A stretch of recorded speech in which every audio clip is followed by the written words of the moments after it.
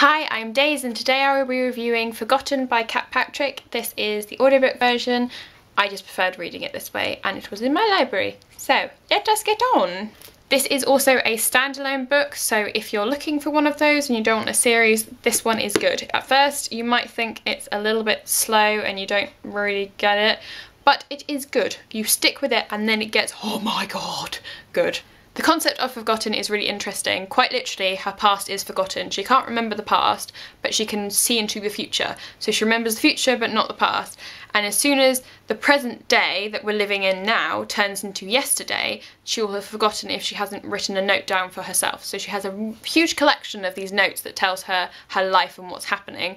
So if she chooses not to put something down on the note, then she will not remember it. For instance, let's say she falls in canal but she doesn't remember that so then if someone then goes to her oh isn't it really funny that you fell into a canal she'd just look at them and go sorry what?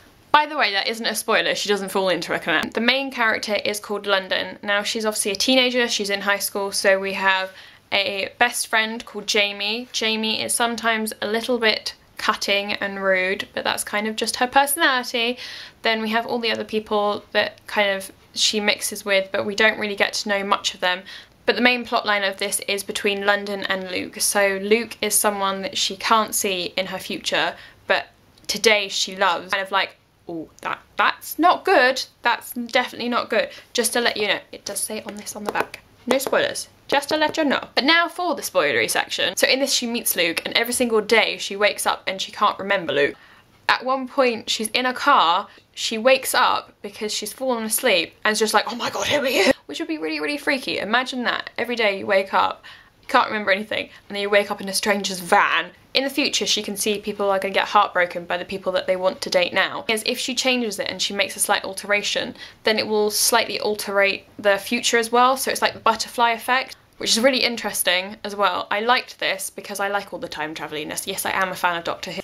I like time travel and whatnot, but this isn't time travel, this is just memory travel.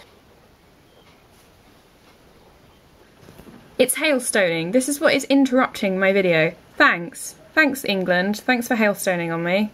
Right, when I'm trying to film a video. Jamie's falling for her teacher, which is really weird and gross, and quite frankly, the teacher should know better. A friendship between London and Jamie, it breaks down because Jamie is so intent on having this teacher and doing all these things with him. Just London just doesn't get it and she doesn't like it and quite frankly I don't get it and I don't like it. London can see into the future so she knows what's going to happen and there's going to be a court. She's trying to stop it so there's several little plots she's putting in place to have to kind of make it all together so that Jamie in the end is safe and that she doesn't have to go through all this torment. Luke and the ears. I don't get the ears. I don't like ears. It's kind of like feet. They're functional things, but they're not exactly very pretty things. Luke seemed really lovely in this, but it really annoyed me when I found out that he'd actually lied. They'd actually met at camp when they were about 11, and then he woke up every day and then London would wake up and be like, oh hi, you know, would you like to be my friend? So he thought she had amnesia. Kind of a bit like, oh, Luke, you should have just come out and told her because then you kind of ended up breaking up and then she purposely forgot you and then you're annoyed because you lied to her. I think she has the right to make me forget you. Just, just for a day, possibly. I'm still not saying that that's exactly mature to just go, no, I'm just gonna forget him. Although I think a few people would probably like to forget their ex-boyfriends. There's a main plotline running throughout this that London can see a funeral and she can see people crying and she can see her family and she can see her grandma. So once she's figured out that her grandma's died, the only possible reasoning for this memory is that it has to be in the past. And at that point, she finds a gravestone for Jonas, who is her brother. This is the point when I was like, oh my god, what? So it was really sad because he's only two years old. Her mum explains to her that Jonas was in a car with her in a supermarket and all of a sudden he gets kidnapped. They then find the remains of bones that are meant to be Jonas's uh, a couple years later he's been kidnapped and they presume he's presumed to be dead and at this point it was just like so weighing on my heart. After Jonas has been kidnapped out of the car, her dad drives after him and unfortunately they have a crash. London goes into a coma and she actually dies at the time that her brain resets and her mum never told her this because she thought if she's not going to remember it she could spare her feelings from it so she didn't have to wake up every day and be in pain. Because now she knows about it she does have to read that note every single day but she blames herself because she opened the door to the kidnappers. Because London can't see Luke in her future, she obviously presumes that Luke is going to die, that Luke will die, and the way he will die is they will find the people that kidnapped her brother and then they will shoot at Luke because they don't want anyone to find out. the police start an investigation again because London claims that in the past that she saw a piece of paper on the floor that said a street name on it but she didn't. It was in the future, but obviously she can't explain that and say, well, I actually saw it in the future, but you're gonna have to believe me. By the way, they get into a search about it and then they figure out that there's actually people watching the certain area there about a pawn shop and they think that the pawn shop isn't quite a pawn shop. This is a pawn as in P-A double N, by the way, not the other thing.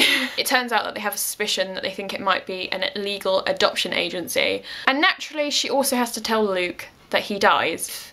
But will he die at another point just because that point has been changed? Will it then be like two weeks later kind of thing? So it's all about like complications. You can't just go, oh yeah, I'm going to change that and that'll be fine. There'll be no consequences there. So her brother didn't die, which made me so much more happier. And in the end of the very, very last bit of the book, in the epilogue, she says that she remembers in the future that she will have him come to Christmas. Like the way they ended the book though, that it wasn't a massive, you know, reconciliation with Jonah, they just left it, that it was for your own imagination to kind of think of all the things that might then happen in the future. And she finally gets to talk to her dad because she's been looking for her dad all this time. Then she gets to finally have a relationship with him because it's you know, they have to talk to him, they have to tell him that Jonah is actually possibly alive. And the very last part of this book is her saying, I can change the future. So that's pretty awesome. Complications, but she can save people's lives and change their future. I like the fact that it all comes together, it's all wrapped up, all like the little ties at the end are all kind of like put into a bow of, you know, a good end